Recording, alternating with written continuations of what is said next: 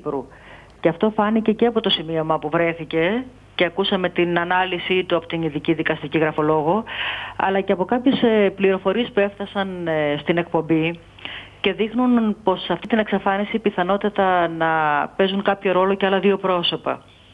Γι' αυτό λέω πως απαιτείται μια βαθύτερη έρευνα και πιστεύω πως θα βρεθεί άκρη με την άρση του απορρίτου των τηλεφωνικών συνομιλιών και της αγνούμενης αλλά και κάποιων προσώπων άλλων. Ε, μόνο έτσι θα δούμε το φως και απορώ πως δεν έγινε αυτό στους 9 μήνες.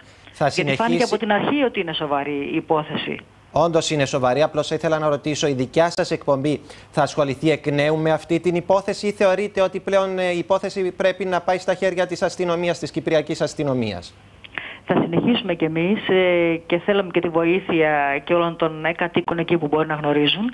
Ε, αλλά πιστεύω πως θα πρέπει και οι αστυνομικοί να ε, δώσουν ένα μεγαλύτερο ενδιαφέρον. Γιατί κάπου άκουσα κι εγώ ότι θέλουν να κλείσουν την υπόθεση αυτή. Από Όλα τη δείχνουν δική πως η σας- γυναίκα ευνηδιάστηκε. Ναι. Γύρισε σπίτι, πιθανότατα να δέχθηκε κάποιο τηλεφώνημα, άλλαξε ρούχα και έφυγε παίρνοντας μόνο το κινητό μαζί της. Και το αυτοκίνητό της βρέθηκε εγκαταλειμμένο στην ε, παραλία Lady Smile. Όλα αυτά 11 Απριλίου.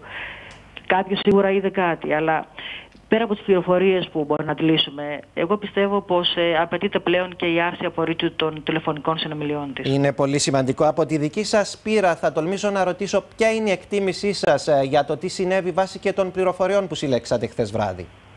Είναι αυτό που σας είπα. Πιστεύω ότι όλα στηρίχθηκαν σε έναν ευνηδιασμό. Γιατί η γυναίκα πήγε στο διαμέρισμά της για να ξεκουραστεί. Και ξαφνικά την είδαν να φεύγει όπως ε, σας περιέγραψα. Από εκεί και πέρα γνωρείται.